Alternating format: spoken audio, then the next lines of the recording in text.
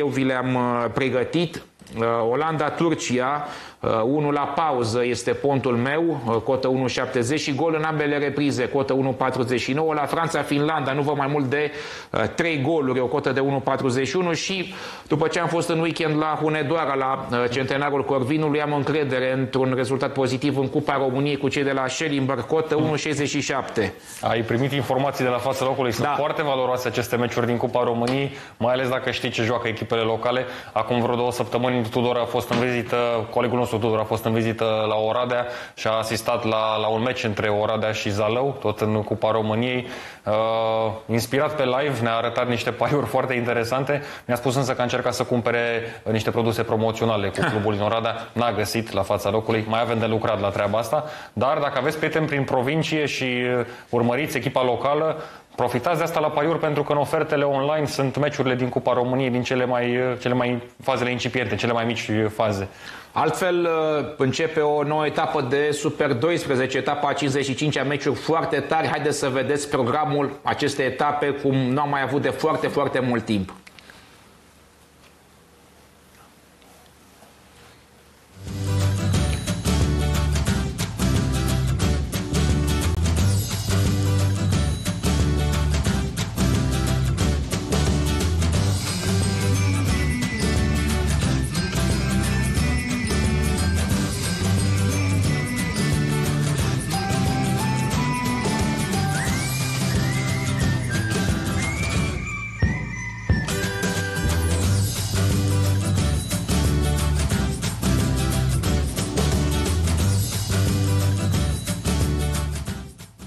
Da, am văzut ce etapă ne așteaptă în Super 12 meciuri precum Milan, Lazio, Leeds, Liverpool, Leverkusen, Dortmund, Leicester, Manchester City, Leipzig, Bayern, Napoli, Juventus. Incredibilă runda. Greu, greu de tot, Bogdan. Mai greu ca niciodată. Sunt meciuri foarte, foarte echilibrate, derbiuri în care... Dar parcă mai bine așa decât să ai meciuri din uh, Brazilia sau mai știu eu de prin ce alte campionate.